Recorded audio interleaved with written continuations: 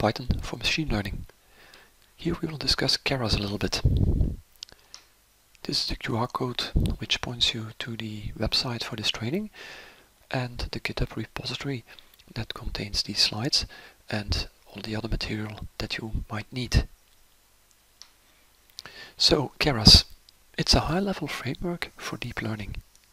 So it gives you high-level access to all kinds of rather sophisticated features which you require to do deep learning. Under the hood, it uses TensorFlow as a backend. So you get the performance of TensorFlow, but with much more convenience than if you were to use TensorFlow directly. Out of the box, Keras has quite a number of layer types. Dense layers, convolutional, we'll discuss those. Pooling layers, embeddings, we'll discuss those as well.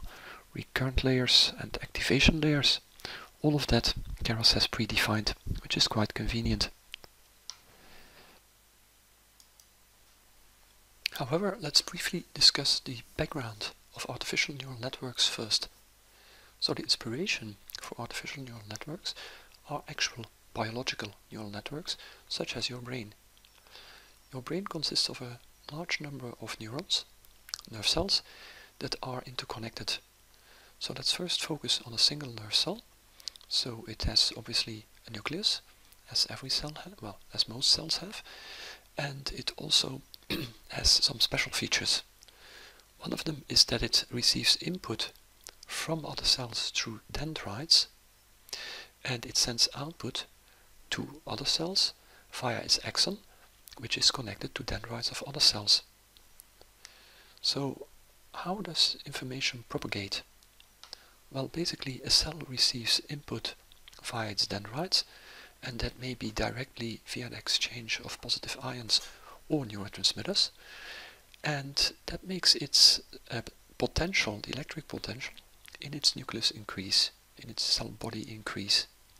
At a certain point it reaches its threshold, then starts to grow very rapidly, it spikes, and it produces, um, it fires, it produces an a chemoelectrical signal that travels through the axon and that will influence other nerve cells. When that has happened, the action potential, so basically the, uh, the electric potential of the cell decreases and it goes to its rest state. Now, this formed the inspiration for artificial neural networks and the mathematical model which we use is input, which is by the cell transformed into output. So the input is represented by x1, x2 to xn, and each input has a weighted influence on the cell potential, so on the um, value that the cell is going to use to transmit information. And these are the weights, W1, W2, up to Wn. Notice there is also a bias, which is just a number with a special weight b, which is uh, kind of a of a threshold, no, not really of a threshold, of a kind of um, neutral value uh, for that um, particular neuron. And the uh, neuron produces y, which is its output. How is this y computed? Well, basically it's the weighted sum of the input plus that bias term and we apply a transfer function or an activation function which is typically nonlinear and which may be sigmoid or other uh, mathematical uh, mathematical um, functions which we will discuss later in a bit more detail. So we usually use multi-layer network so we have the input which is connected to the first layer. These are a number of artificial neurons and the output of those forms the input for the next layer and so on. So basically this is a feed-forward network. The input of each layer is the previous layer, the output of each layer is the next layer and there is no recurrence, so there is no feedback here, no feedback loop. The question now, of course, is how do we determine those weights? because the inputs and the outputs for the training set at least are given. So how can we use those in order to determine the W's which are to be uh, determined in order for this neural network to do something useful, to reproduce the output from the training input. So, how do we go about? The algorithm is backpropagation. It's pretty old, it has been um, developed back in the 90s, and we start by initializing the weights randomly.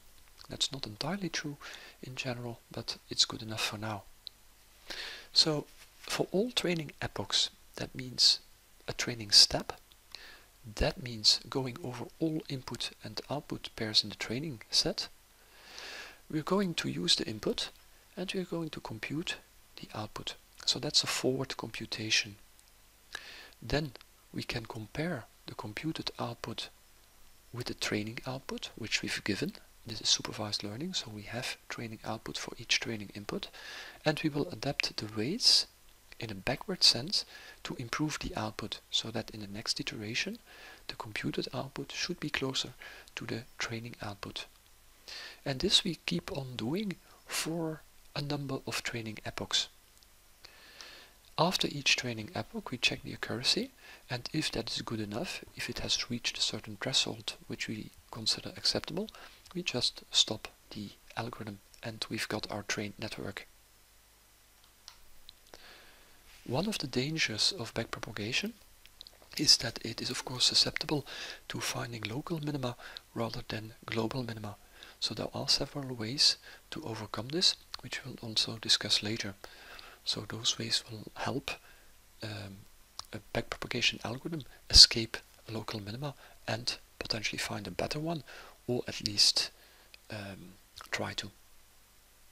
Let's look at some common activation functions.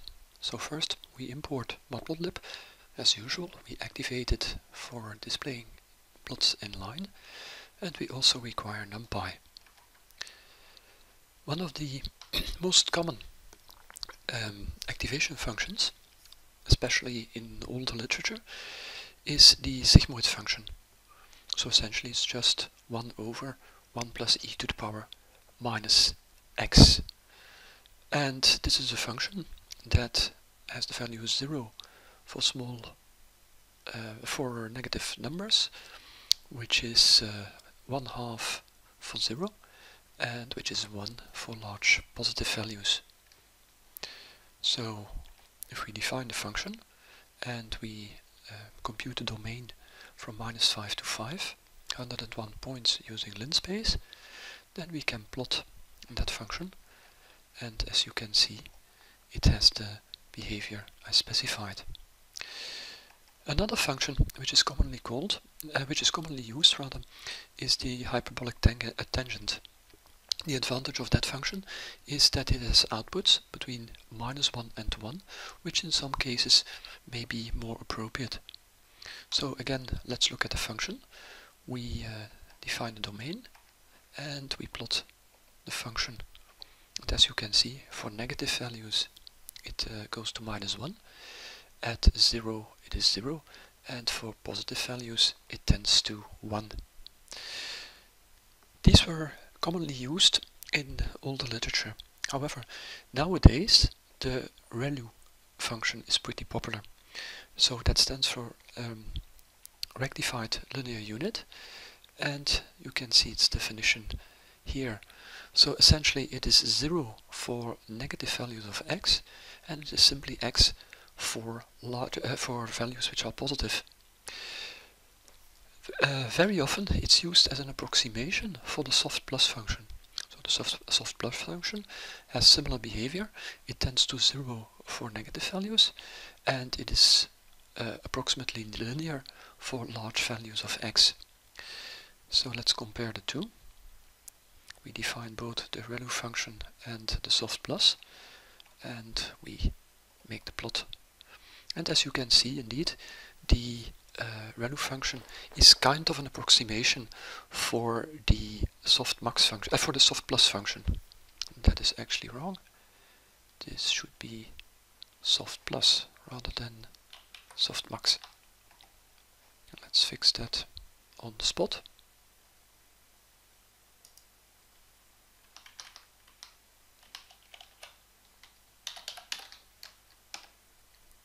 Much better.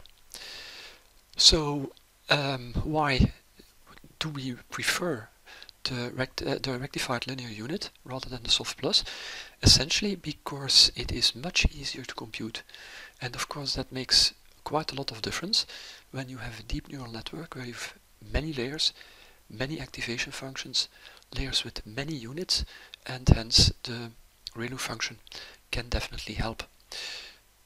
Note that it is uh, nonlinear, so the nonlinearity is only slight because it is in the point zero, but it is enough to actually do what a, a, an um, activation function is uh, supposed to do.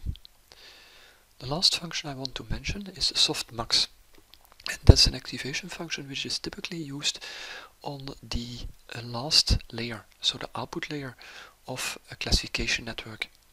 So suppose that you have a number of classes and uh, you actually want a single class as an output, but of course that will not always happen. So what you would prefer is something that denotes the probability of each different class. And that's something where softmax is quite useful for. So for each output unit it is equal to the exponent divided by the sum of the exponents of all the um, inputs to that layer. And the output will in fact be um, larger for that probability that dominates the uh, the others so the maximum probability hence softmax uh, but the nice thing is of course that it's pretty obvious that if you sum all the outputs of all the categories that you will end up with 1 and hence that this is this can be interpreted as a probability distribution. So here's an example and as you can see um, the largest value of x will indeed be will have the largest output and we can verify that the sum is indeed equal to 1. Next we'll do an application and we'll try to recognize digits handwritten digits.